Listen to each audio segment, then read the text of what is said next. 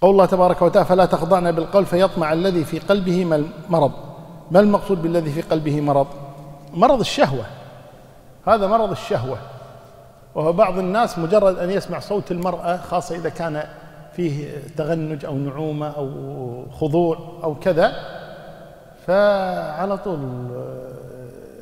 يبدأ يفكر أن تحبني تبيني كذا فيتأثر بهذا فيحاول أن يتصل مرة ثانية أو يحاول أن يطيل الكلام معها لما وجد من الراحة بهذا الكلام.